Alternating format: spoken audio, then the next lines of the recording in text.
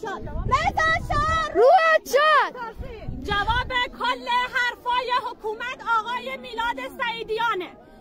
راه رو بستن که نذارن کسی بیا ولی خانواده شهید راه آزادی آقای میلاد سعیدیان